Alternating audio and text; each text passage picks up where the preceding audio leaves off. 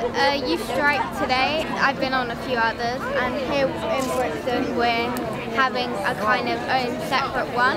It's really important to like spread awareness around just the general public and to get the government to kind of know that we're really serious about this and that it's a really important issue. If we don't do this sort of thing, we, um, we won't be able to because we'll all be dead. So I think we need everyone needs to go, just go out there and give it a try because if nobody does this, we're all gonna die. Driving cars is a terrible thing because like you could take the train or a bus, but if you drive with a car, you could uh, it causes to global warming and ice caps flooding. So think about what it would be like without trees, or you will be dead.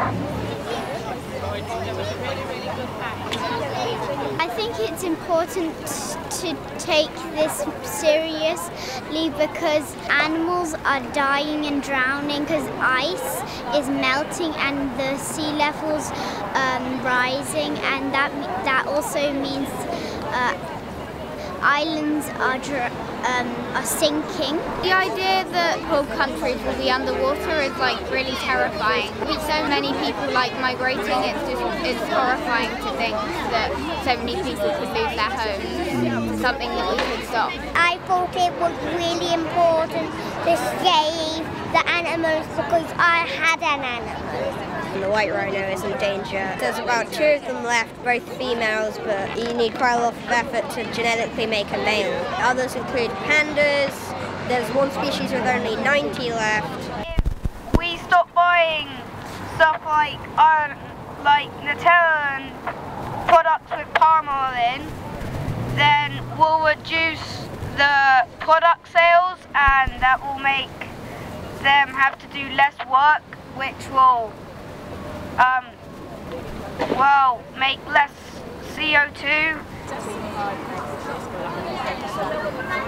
I also worry about my future and if I do have kids, their future because it might be really polluted and hot and just not nice here. There's no point in even thinking about a future if um, climate change goes on because we won't have a future. I really want to see the age of 20 or whatever.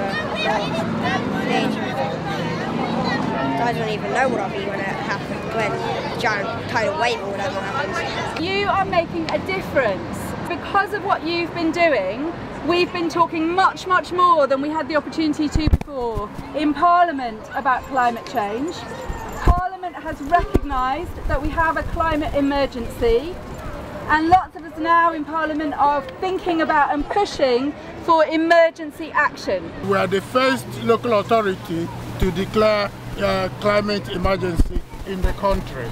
We're also committing by the 2030, for you it possibly looks a long way, that we will be a carbon neutral. In our union we passed a motion at conference uh, which was about climate change and we said we supported the students who were going to be protesting and we wanted to change our curriculum uh, to include more teaching of, of the, the, truth about, the, about climate change.